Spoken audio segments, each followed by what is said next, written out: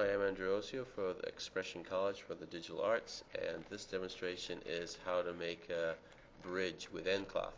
nCloth is something fairly new to Maya. It's kind of being revolutionary. It's quite a powerful simulation engine, but uh, like everything that's tied into Maya, you can mix it with other uh, modeling, animation, and simulation tools to get even more out of it. And I'm going to show you a simple trick on how to do that today. So I'm going to take a regular polygon grid here and I'm just going to translate it 0.5 degrees over there and I'm doing going to duplicate it and take it negative 5 degrees over here and um, this is kind of like the beginning of it. I usually like to make sure that my history is deleted first. It's kind of an, an important issue and it wouldn't be a bad idea to freeze the transforms although that isn't critical. Um, To take these two objects now and uh, go to the nDynamics menu and under nMesh we're going to create nCloth for both of them. And uh, End Cloth, like so many of the newer um, dynamics, is built in gravity, so we don't have to worry about that. We do have to pin the uh, cloth in certain places. So if this is a bridge, it's going to be pinned at the two ends, so I'm going to select the vertices at one end and use what's called the transform constraint which essentially allows these vertices to be only keyframed and moved. They can only be transformed manually. Otherwise, they're kind of pinned. It's a great way to kind of pin your nCloth geometry to a static location. So transform on both sides like that. And we're just going to run our animation. Do a quick run on that. Okay, that's pretty standard stuff. Let's just go uh, wireframe shaded so we can see what we're doing here.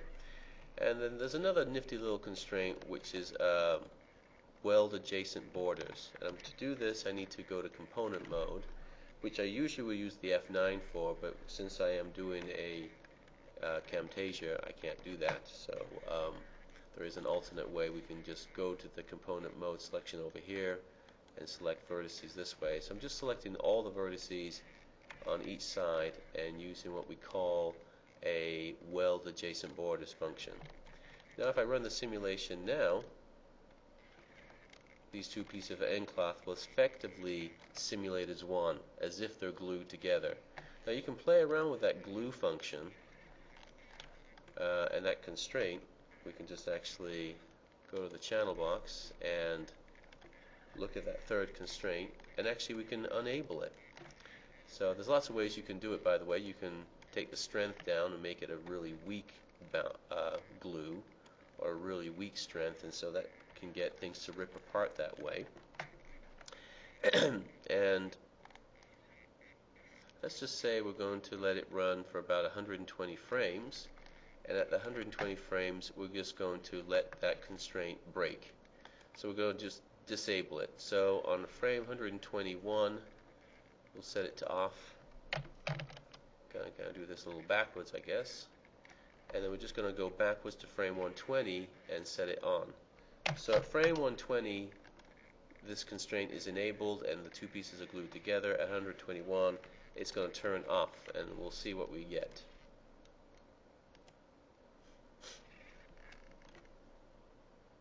So we get this effect and break apart. That nice little pinch there is just kind of a, a, a freebie that you sometimes get from nCloth. It has to do, it's random somewhat, has to do with how much tension is in the vertices at any one given time and it, it's some random, it almost varies but it's actually quite cool to kind of get that for free. Uh, it kind of simulates some extra things. So we've kind of got a nice little nCloth simulation of a bridge breaking now we're going to use nCloth not as a simulation in itself, but we're going to use it to drive another one. And it's going to become what we call a wrap object and uh, deform a group of objects.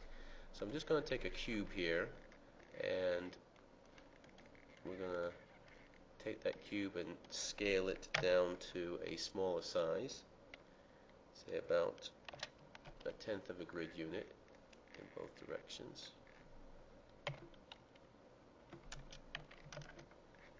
So it's about the same size as the grid. In fact, we're going to take it down just a little smaller than that, 0.08. And I'll make it the same length in the z direction. So I'm going to make these long strips, maybe a little bit smaller in the y direction, so it looks like planks. Okay. And then we're just going to drag it over here. So I'm going to basically put a plank where every strip of polygons on the nCloth is.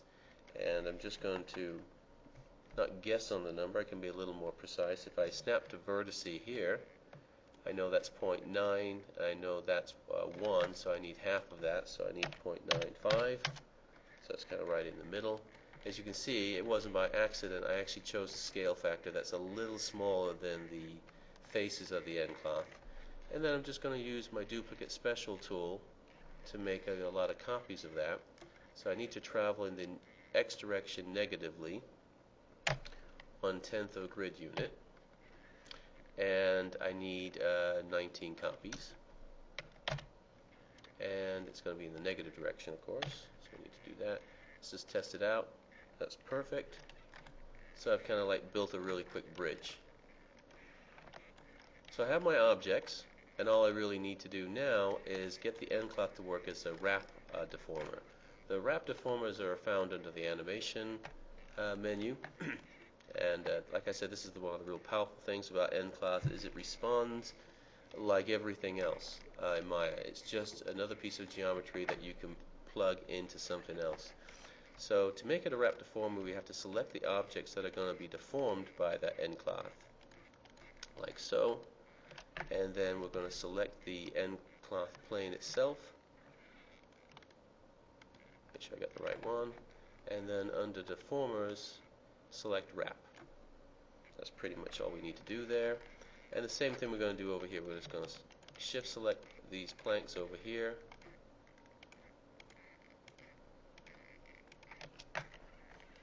And then control uh, select in the outliner the nCloth plane and use another wrap deformer there.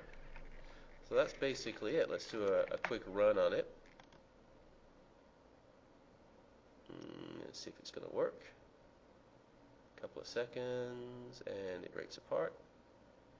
So that's great, but the nCloth is still there, so our illusion is somewhat broken. So let's just take the nCloths themselves and hide them, and they will still do their nCloth business, but um, they're not going to be seen or rendered. So now we just have a regular uh, bridge, and it's going to break apart and so it's an easy way to do a simulation using nCloth. Now, the nice thing about this is the nCloth can be extremely simple shape, but the wrap that objects that it actually moves can be very, very complex. In other words, this bridge could be a lot more complex than uh, 10 polygon uh, cubes. It could be a lot more complex, but it still kind of gets that nice same effect. So that's one way that you can use N cloth to do something more than just uh, clothing.